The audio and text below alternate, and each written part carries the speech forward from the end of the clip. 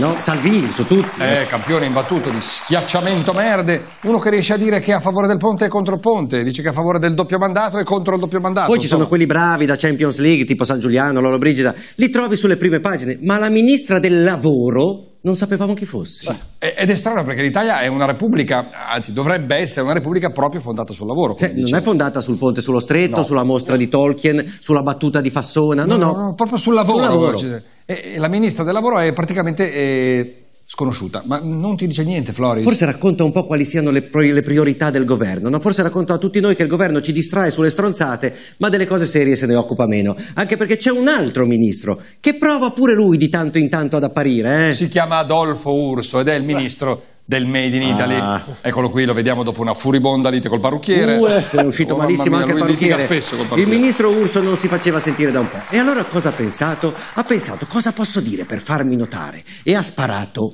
questa.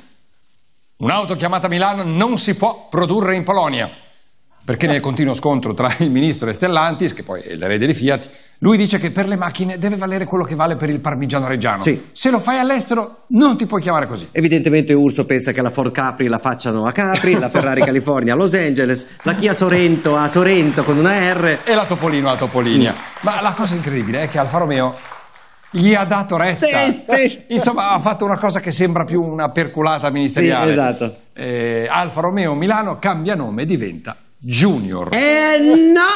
Adesso diciamo noi no. Siamo andati a vedere. Perché in West Virginia c'è un posto che si chiama Junior. e non mi pare che la macchina la facciano lì. Popolo di Junior, insorgiamo!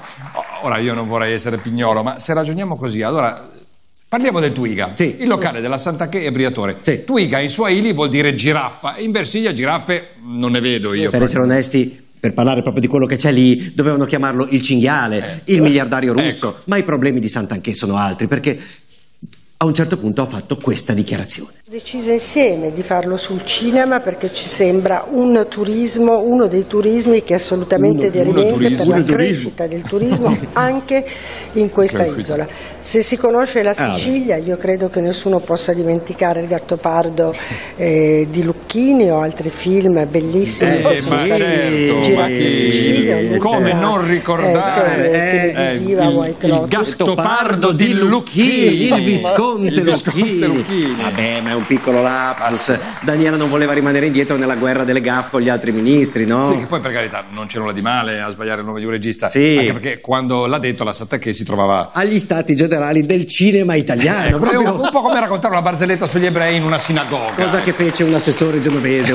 ma il lapsus di Sant'Anche crediamo sia dovuto anche a un momento di scarsa lucidità. Perché dopo, dopo Lucchini, sì. ha detto questa cosa qua. È ancora più bello. L'assessore Amato sta già lavorando in questa, in questa, in, su questa, questa strada, quindi dobbiamo fare questo, eh? dobbiamo invogliarli, farli conoscere, eh? farli venire in Sicilia e eh, togliere diciamo, la burocrazia. Eh, capito Floris? Non ho capito, scusa. Non, ho capito. non solo dobbiamo invogliarli, ma dobbiamo anche sburocratizzare ah, togliere la burocrazia. Ah, capito, Ma comunque, soprattutto in ah, perché si parla di brand reputation riesce a pronunciare bene, ma con Italian pronunciation non ce la fa, capito? Eh? A, me, a, meno, che, a meno mm. che la geniale Daniela non abbia fatto anche lei la gaff per farci parlare di quello cioè e, di non, di e non di un'altra espressione italiana il falso in bilancio. Ah. Eh, si chiusa altre indagini su Daniela Santanché, falso in bilancio verso la richiesta di processo. Non so se è falso in bilancio o ah, ah, Però tu mi vuoi dire che la bilanciation era inventation. Lo, vedremo, lo, lo deciderà il tribunale. Nel frattempo Tajani ha subito specificato che non chiedo passi indietro a Sant'Anché, noi siamo garantisti. Oh. oh, insomma, bisogna ammettere che Tajani in questo panorama si dimostra uno dei pochi politici equilibrati. Ah, ci avete creduto! Eh, ma dove? Ah, presentazione del simbolo di Forza Italia, alleato con Totti, simbolo delle europee, eh? eccolo qua. Allora, guardate bene le scritte, sì. Partito Popolare Europeo, sì. poi Forza Italia, noi moderati di Totti, ma quella più grande è Berlusconi presidente. Ma, ma come eh... Berlusconi? Ma, ma, non era... Cioè... È trapassato, insomma. Quindi segnatevi la data, quello dell'8 e 9 giugno, sarà un weekend con il morto. Lo porteranno in giro, così ci stanno dicendo, oltretutto proprio ci stanno dicendo che prende più voti Berlusconi da morto che Toti e Tajani da vivi. Ma tu hai detto sovranità? Perché se hai detto sovranità io non posso dire che cioè. alimentare, tu mi dici sovranità e io ti dico alimentare. e anche questa settimana abbiamo un grande contributo da lui, eh. il nostro ministro Lollo Brigida. Oltretutto questa fotografia la pubblica lui spesso sì, sul suo sì, profilo. Ora, dire che... Noi siamo qui a chiederci qual è stato il suo amico stronzo che gli ha detto Guarda, pubblica questa Lollo perché sei venuto bene. Guarda che bisogna essere degli stronzi. Sì, deve essere fermi. Ma come? Lollo Brigida ha una grandissima passione. Eh, lo sappiamo. No, no, un'altra, un'altra, ah, un'altra. Sì, sì, lui deve difendere le piante, ma non tutte le piante. Lui deve difendere le piante che nessuno sta attaccando. Sì, perché c'è una pianta che fa parte della tradizione italiana, quella che il Ministero della Sovranità di sto cazzo dovrebbe difendere, no? Una pianta che in Italia dal primo secolo d.C., da 2000 anni, cioè più tradizionale italiana di così, non... Eh. questa pianta è la cannabis. Che pur essendo italiana dai tempi dell'impero romano è vietata. Poi c'è un'altra pianta che più o meno in Italia dallo stesso periodo, che è l'uva, che invece non è vietata. E fanno male tutte e due. Tutte e eh? due. Ma la cannabis ti fa andare in galera. L'uva ti fa andare al Vinitali. Eh. Perché ricordiamo che se dagli spinelli si passa alle droghe mortali, allora diciamo pure che ognuno dei 17.000 morti all'anno per abuso di alcol ha cominciato con un bicchiere di vino. Eh. Sono due cazzate uguali, eh. ma non prendo Brigida, che una volta alla settimana ci tiene a dire una cosa che fa incazzare il mio gastroenterologo. Che il vino fa bene, lui ci tiene a dirlo, ma visto che non riesce proprio a dire che l'alcol fa bene, ogni settimana fa una super cazzola senza Divertentissime, Tipo questa, questa ve l'abbiamo tenuta lunga perché è particolarmente bella. Guardate come si arrampica. Io penso che eh, alcuni elementi vadano lasciati alla scienza e a coloro che, ecco. ecco. però con tante opinioni differenti, danno dei giudizi sulle diverse bevande alcoliche. Che l'alcol non sia non... un elemento positivo è un fatto oggettivo.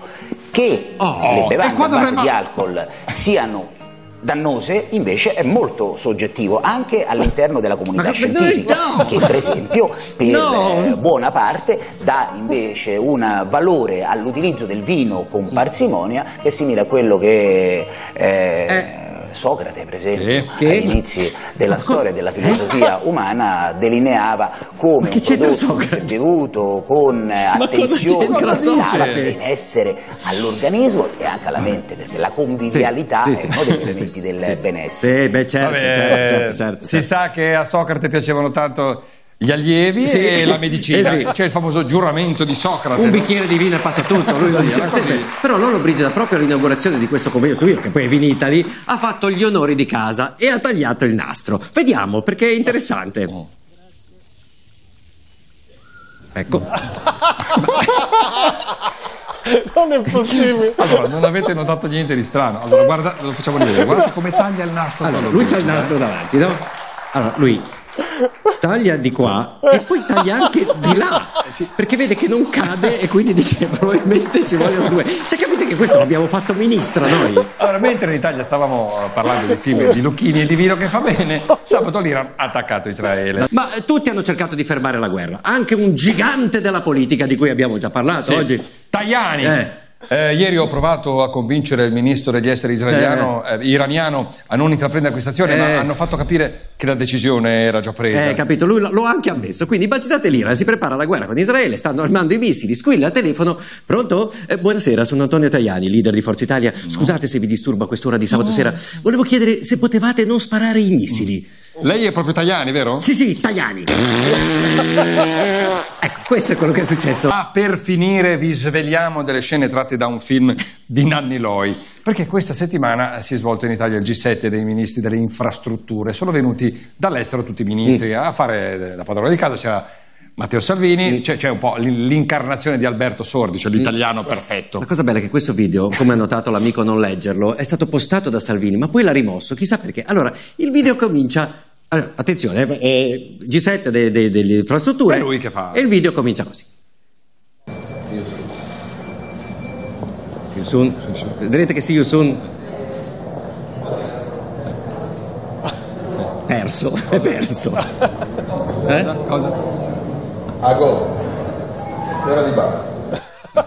Fuori di bar. Fuori di bar. Cioè, ecco, Salvini si esprime così in milanese, fuori di bar. Perché invece il suo inglese non è proprio fluentissimo. Eh. Come vedremo, eh, gli hanno insegnato nice to meet you, thanks a lot e see you soon. Sì, quelle lì dice. le sa, le sa, le sa perfezione. Proprio. Il problema di Salvini è che lui deve solo star lì, stringere delle mani, fare la foto, ma sai come sono i ragazzini, no? Si distraggono di niente. Infatti, quando arriva il ministro inglese, lo coglie di sorpresa. Eh. Guardate questo, questa. Perché lui è lì che si, ecco, si sta facendo bellamente i cazzi suoi. E... Piede solo. Guarda, eh, guarda, è lì che. Sul piede solo, fa, fa, la ganassa, capito? Ganassa. Ah, arriva. Nice to see you. Qua, qua diciamo. Foto. You soon. Eh. Io su. See you soon. Thanks a lot. Gli indica il cesso. Ecco, vai. Va bene. Poi, poi chiede se va bene perché, sai, non, è, non era facile. Eh, cioè. Come sono andato? Eh, questo è britannico, questo è americano-britannico. Cioè, perché comunque il compito è complicato. Cioè, eh, non è facile. Eh, eh, vedi, deve dire my friends, my friends, my friends perché sono in tanti. Ma insomma, poi arrivano tutti gli altri. E per indicare quando arriva il giapponese, lui come fa a farlo capire? Eh, perché suoi... il giapponese è uno, eh, qua si capisce qual è il giapponese. Guardate cosa fa, cosa lui... dice ai suoi, ai suoi Guarda, aiutanti. Questo è chiaro, questo si capisce. Questo è chiaro, eh, questo si capisce che è giapponese, eh, sì, sì, c'ha la faccia da giapponese. Attenzione perché sì, nice to meet you. Nice to see you soon. See you soon. Ah, la, la ah, foto, la foto, si era dimenticati la foto. Sì, sì, sì. Perché lui deve stringere la mano e fare la foto. Non è facile ricordarsi eh, gestire tutto. tutte queste robe. Poi ne arriva uno che non sappiamo chi è e guardate cosa fa Salvini. È uno dei tanti ministri. Sì. Nice to meet, nice you. To meet you. See you soon. See you soon. Thanks a lot. Thanks a lot. Eh? Thanks a lot. Eh, guarda. È lì. Vai. Vai, vai, vai, vai, vai, Indica, Indica il cesso, in fondo a destra. Ma il finale è col ministro canadese e qua è il momento di così ci scappa il battutone. Grande ilarità. Vediamo Grande il canadese. Ilarità. Tanto il canadese c'ha una faccia che Nice to meet you, eh, chiaramente. Il collega canadese ha comprato un Alfa Romeo questa settimana. Ah, e sti cazzi. il sostenitore. Non la Milano, credo. Non la Milano. La tonale veloce, l'avranno fatta? Eh, non lo so. I'm gonna get it next week, la settimana prossima. Pubblicità sì. progresso. Perché quando parla in inglese lui non capisce no, niente. No, no, no, no. Ha fatto anche la battutona, pubblicità progresso. Il canadese però ci ha fatto capire a cosa è servito questo G7. A pagargli il viaggio per comprarsi una macchina in Italia. a dopo Floris! A dopo, ciao! Luca, Luca e Paolo! Corrado Augias, bentornati. Volto storico su questa rete, il grande successo della Torre di Babele. Pensi quanto lavora il protocollo prima di... No, proprio sono cose così avvilenti. Perché? Perché io le conosco queste cose, le ho viste quando sono stato molti anni fuori, le ho viste perfino alla Casa Bianca. Mi ricordo una volta, eh, in un ricevimento eravamo stati ammessi come giornalisti italiani, in un ricevimento alla Casa Bianca la banda dei Marines, elegantissima, era la prima volta che vedevo dei soldati che suonavano il violino. Attaccò Funiculì Funicolà come omaggio e questo sventurato accennò qualche, qualche, qualche passo di là, una cosa da mettersi sotto il tavolo. Perché siamo noi così, sono gli italiani no, così. Perché siamo noi così, perché è così difficile prenderci sul serio anche sulle, sulle questioni anche sulle questioni molto serie.